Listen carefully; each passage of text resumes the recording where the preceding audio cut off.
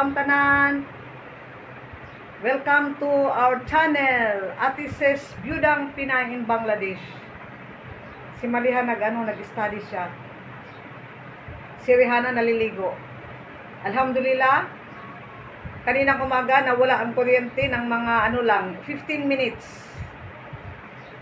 O kaya mamayang gabi pag may kuryente, as usual, mag-live tayo mga ano mga labs ngayon magluto ako guys ng ano namin, ng pananghalian. Our recipe for today is ano ba ito? Yung an egg korma, a Bangladeshi recipe. I wanna show guys how to cook it para pag nagustuhan ninyo, pwede din kayong magluto diyan sa bahay ninyo. O sige muna, ano muna ako, prepare muna ako ng mga ano, ng mga ano ba ito ng mga ingredients. 4 eggs as usual lang ang lulutuin ko at saka pulao rice. Kumusta kayo? Kumusta kumusta tayo? Hello, hello. hello mga ano, mga loves. Sana okay lang tayong lahat. Sige, ano muna ako, mag-prepare muna ako, guys. Tingnan nyo, dito ko, nakaboil dito sa rice cooker ang ano namin, ang eggs. For, para, maano ba? Nakaboil sa rice cooker dahil para makaminos gastos doon sa gasol. Dahil ang mahal ngayon ng gasol, 1,750.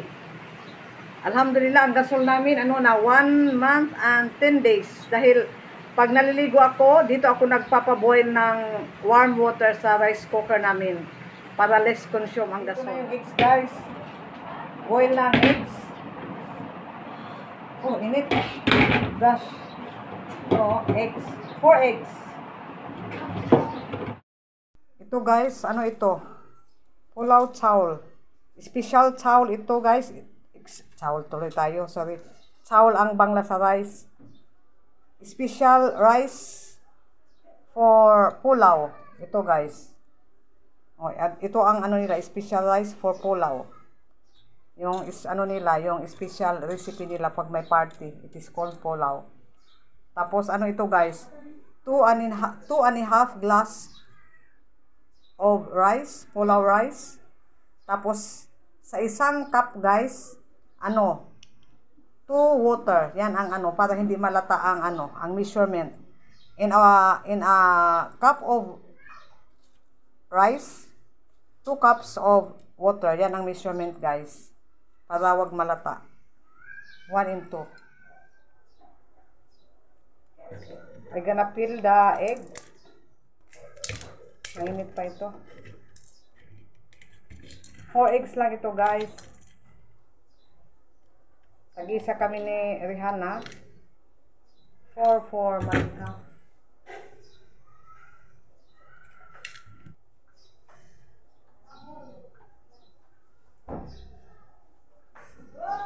Sagaduhan natin ang pintuan dahil dumating yung partner namin lalaki galing nag-3.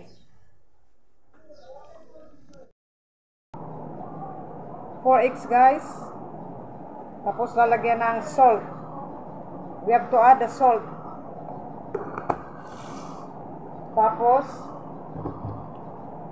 4 onions, 4 pieces of onions, an Indian onions. Medyo mura guys ang Indian onions. I-blend ko ito, gagawin kong onion paste.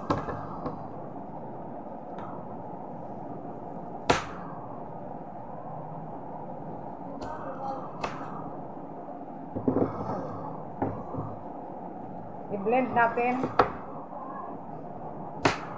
gagawing onion paste guys. Sa recipe na ito, need onion paste, garlic and ginger paste, tapos onion paste.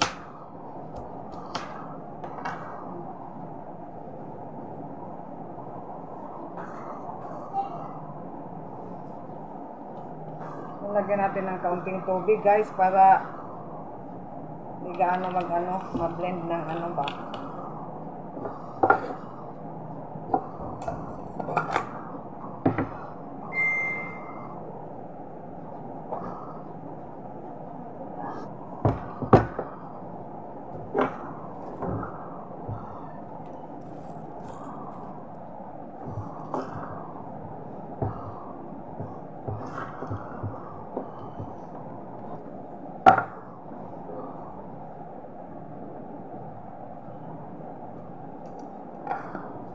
Gonna start cooking. Dahil naano ko na, na-prepare ko na lahat ng mga ingredients for korma, an egg, for an egg korma. So, andito na. Sorry guys, pawis tayo dahil ang init. Kaya pinusod ko ang ano ko, ang, ang ano ba ang buho ko. Nakapusod ito. Inanuhan ko na. Naka-sprinkle na ang salt. Then yung ano, yung pang decoration sa taas, guys. Ito yung pang decoration. Yung ano ba ito? Yung fried onions. I-decoration ko ito sa taas. Tapos cup of milk. Ito guys. Ito na yung green chili. Ah, ano ba ito? Garlic and ginger paste. Onion paste at saka yung Bangladeshi masala guys. Ngayon ay gonna start cooking. Samahan niyo ako guys sa kitchen. Now in the kitchen now. Luto na tayo. Kitchen kitchen na. Ayun, naka-fry na ang egg guys. Wala itong masala, just a plain salt. Ayan, fry na. I-fry ko ng kaunti.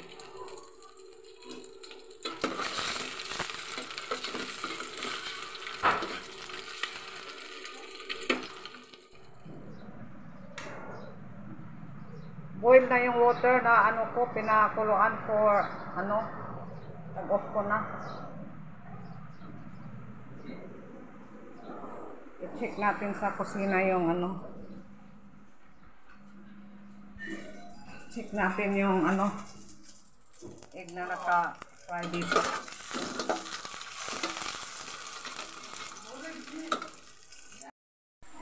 I gonna start now, gu- guys, to cook an egg korma. Sorry dito sa ano ko dahil madumi ng kaunti dahil dito pa ano ito nagl- nagluto pa kasi. I-add na natin itong ano muna guys. Ah, ilagay muna ang ano onion paste. I gonna add the onion paste.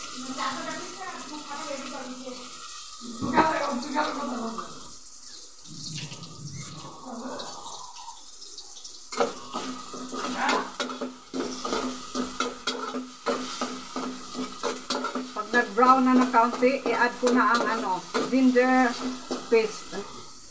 I-add ko itong ano, masala.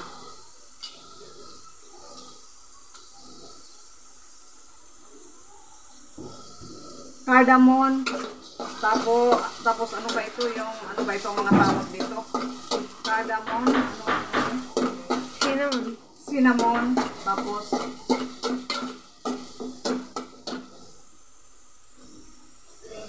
tapos gonna add the garlic ginger paste.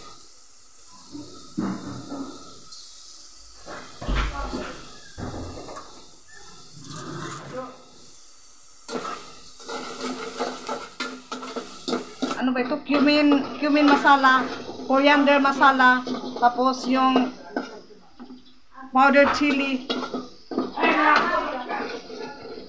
Tapos, lalagyan ko ng salt. Wala itong ano, wala itong peanut paste dahil nakalimutan bumili ng peanut. Then I gonna add the one glass of milk.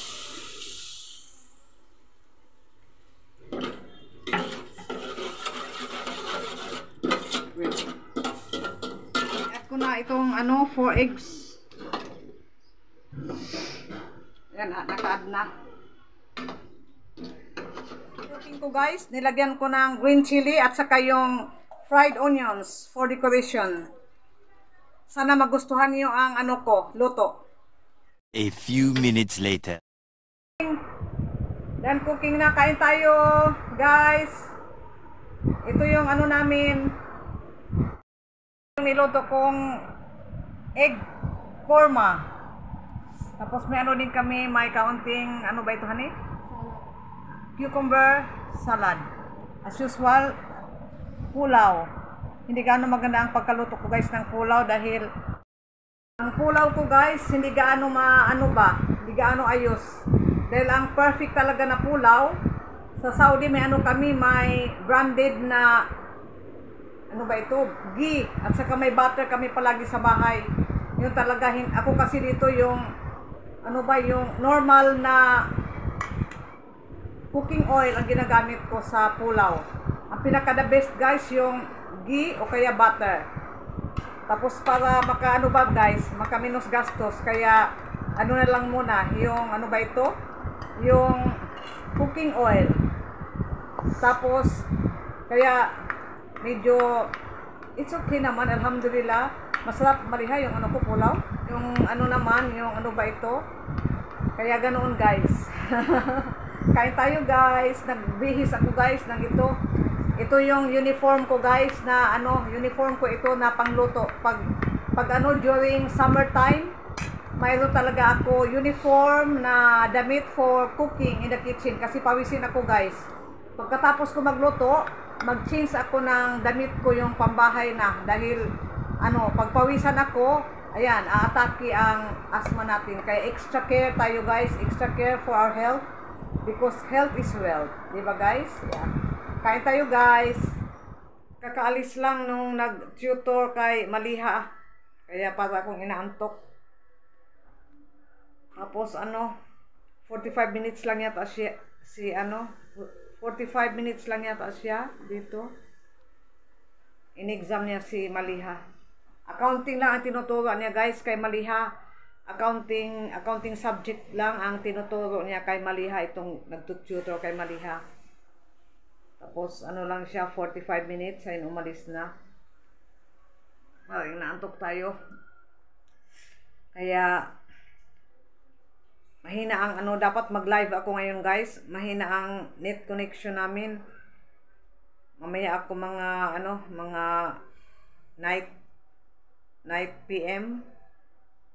Try ko mag-live. Baka may ano baka may ano ba. Baka maganda ang ano net connection. Kaso ang ano lang kasi pag sa gabi minsan walang kuryente. Hmm, kaya ngayon ito na guys umpisa na naman ang walang ang ano brown out. Umpisa na naman dito ang brown out dahil summertime na mostly pag summertime dito usually talaga ganito ang problema dito sa Bangladesh. Pag ano summertime laging nawawala ang kuryente.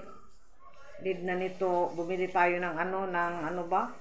Ng charger fan dahil pag ano minsan sa gabi minsan kung kailan mahimbing ang tulog mahimbing ang tulog mga one ganoon sa gabi kung ano nawawala bigla ang ano ang kuryente at night habang natul habang tulog kami.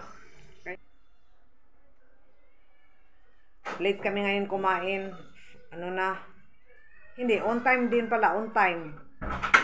3.30 din yun ang ano namin time. Kasi nagluto lang ako ng egg korma so easy lang yun. Sandali lang lutuin ang, ang egg korma. Kumakain kami si Malihag ano pa lang kumakain hindi pa siya tapos kumain kanina. Dumating na yung sir ni Maliha. Ano pa lang siya? Kalahatian pa lang yung pagkakain niya. Kaya feeling sleepy guys sorry. Feeling sleepy tayo. Okay guys. Ingat kayo dyan love you all